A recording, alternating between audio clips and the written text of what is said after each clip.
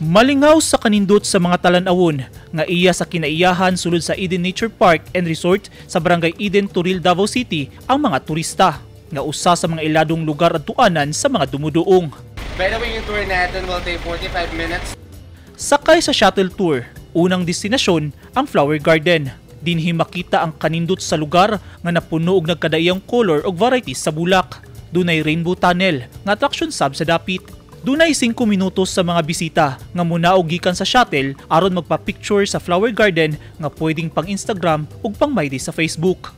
Dili gyud laayon ang mga manuroy sa lugar, sanglit makalingaw ang kanindot sa view samtang nagbiyahe sa padulngang mga destinasyon.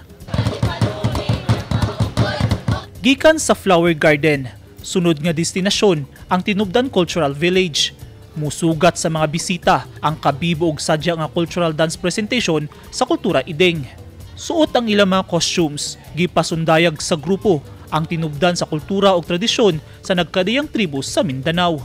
Makita sab sa Cultural Village ang mga nagkadiyang statwa nga misimbolo sa kaabunda sa kultura o tradisyon sa matag tribo nga naa sa isla sa Mindanao. Human sa tinubdan, mubiyahe og 10 minutos una maabot ang Lolas Garden nga overlooking ang Davao Gulf ug Samal Island. Makita sab dinhi sa Lolas Garden ang iladong Mayumis Wishing Well. Busa perting lipaya sa bisita nga si Zuzima Mendoza nga taga Quezon Province nga first time makalaag sa Eden Nature Park and Resort kuyog ang sakop sa iyang pamilya. It's a great experience, lalo na sa akin first timer dito sa Mindanao, sa Davao City. Maganda ang experience, masarap ang pagkain, ang mga tao ay very ah, hospitable, accommodating, at maganda, maganda. Bisan pa man nga dili kini ang unang higayon alang kay Fora Mel Sabio nga taga Davao del Sur nga mosuroy sa Eden Nature Park and Resort apan ganahan gid siyang balik-balikan ang lugar. Uh, uh, we are from the Provincial Planning and Development Office of the Province of Davao del Sur for our uh, mid-year evaluation and team building activity. Personally, I've been here many times before.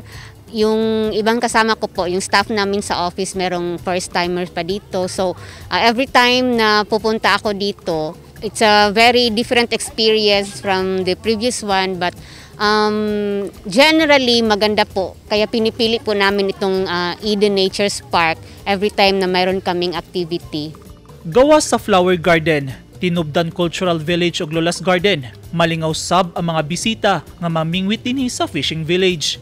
Makalingaw sab ang lugar kay bisan anaa sa bukid, pwedeng mamasul og tilapia ug pantat.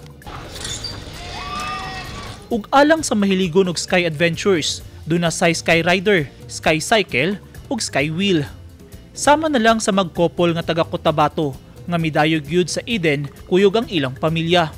First time man og dunay sagol nga kakulba, gisuwayan gihapon nilang Jessreel Liana ug Cybert Joseph ang Sky Swing. Ganda pero Sobrang sobra. makatakot. Natat- sobra. Parang makasuka na, hindi ko maintindihan. Lalo na pag nahulog ka na. Lalo na pag nasa taas. Opo, Yes first po. time po. It's nice naman po kasi maraming activities. So, good siya for family bondings kasi maraming recreational activities and mga pwedeng for Instagram. Gawas ni ini, pwede sab mag horseback riding ang mga bata.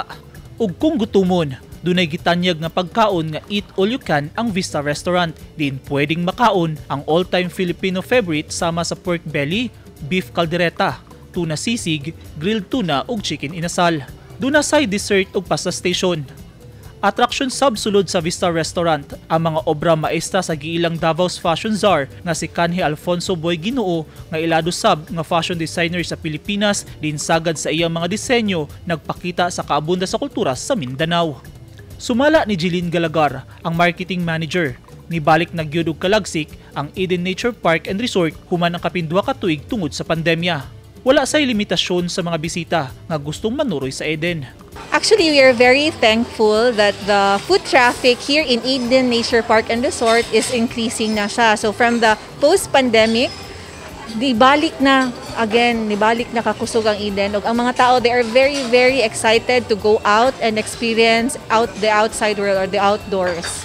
Here in Eden naman, wala kaming restrictions on guests coming in the resort. So it's a we are on the alert level 1 so everybody is welcome just to observe the protocols then the COVID protocols. Uh, okay, Eden Nature Park and Resort is a ecotourism destination. So you will experience here the nature if you want to go sightseeing or have a staycation. Adventure, we also have the sky adventure rides and then our culinary delights which we highlight during this Kadayawan Festival yung mga uh, food namin and of course the uh, farm to table na ino-offer dito sa restaurant. And of course, in promotion with the arts and culture of the Mindanao, we are opening again the Tinubdan Cultural Village where we host yung mga statues or, or the 11 tribes of Davao.